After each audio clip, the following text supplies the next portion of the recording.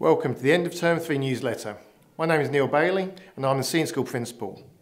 This term has been a very busy and action-packed term for all of our senior school students and staff. At the start of Term 3, the focus was on subject selections and pathways interviews.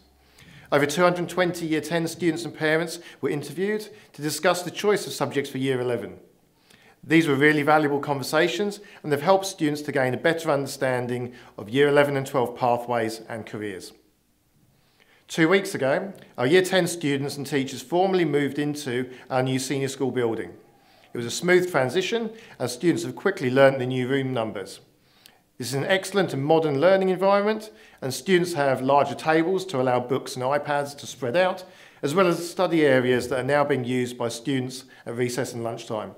It really is starting to look and feel like a great learning environment and everyone has been very excited about the teaching and learning going on in the new building. Last week, we held our first Senior School Performing Arts Day. The feedback from students and staff has been fantastic and reflects that there was a great atmosphere with everyone having fun.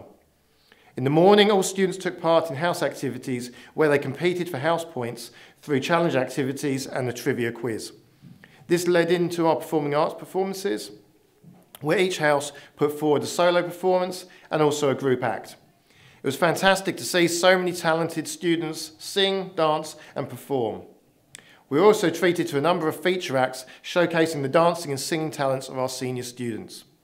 I would like to thank the house leaders who did so much behind the scenes work in organising this and we look forward to 2019 being even bigger and even better. I'd also like to recognise two of our Year 10 students, Annabelle and Kiana, who were recently principal dancers at the Victorian State School Spectacular at Hisense Arena. Congratulations to both girls on their performances. As Term 3 draws to a close, we have an interstate and international camp both currently in action.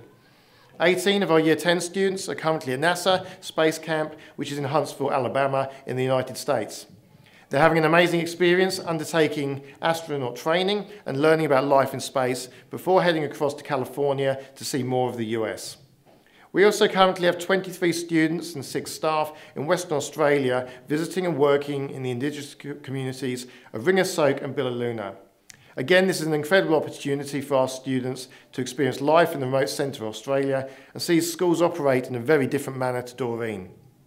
I wish all of our students and families a safe and enjoyable holiday and look forward to seeing everyone at the start of term four.